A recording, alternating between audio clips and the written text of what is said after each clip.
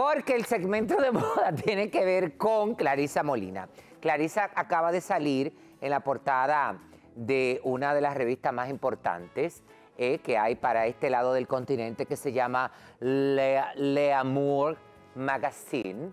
Eh, Amor eh, en francés, magazine, y la verdad es que salieron espectaculares. Es bueno destacar que esta fotografía se hicieron en la República Dominicana. La locación fue Casa Colonial en Puerto Plata y quiero destacar el maravilloso equipo que estuvo rodeado de eh, rodeando a Clarisa para lograr estas impactantes fotografías. Don, eh, bueno, Michael Kelly fue el director creativo de estas fotografías. Ella fue maquillada por un eh, maquillista dominicano que se llama Jaime Núñez, Núñez Caraballo, espectacular, y tuvo el estilismo de Percio Daniel Amadis. Y la verdad es que es increíble. Este es un vestido con un eh, escote que puede ser en B, pero también si te lo tumbas en los hombros, eh, ahí está el cuello barco y es abierto, es en un algodón espectacular y complementado con este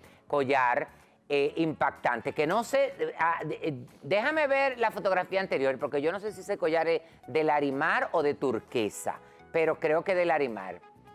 Eh, y la verdad, bueno, aquí hay otro look, eh, eh, ese, ese look, y me encanta cómo le arreglaron el cabello, me encanta el maquillaje, porque aunque el maquillaje tiene esas tonalidades como oscuras, pero hay un contraste perfecto entre el azul, entre el azul del mar, del cielo, el maquillaje, eh, y la verdad es que se ve muy bien. Vamos a seguir con las fotografías. Esa me encanta también. Me imagino que esas fotografías se hicieron como en un área donde hay como un establo, donde ella está encima como de la neverita de, de, esta neverita que uno utiliza para ir a la playa, que está con este look bastante deportivo. Ese también me encanta con esos tenis. Y la verdad es que ahí hay una mezcla de estilo. Fíjense el pantalón corto con la chaqueta, el top eh, de traje de baño, pero entonces hay un eh, un contraste ecléctico con este peinado que está súper peinado, la parte del cabello y entonces el maquillaje, porque hay como un recogido como casual,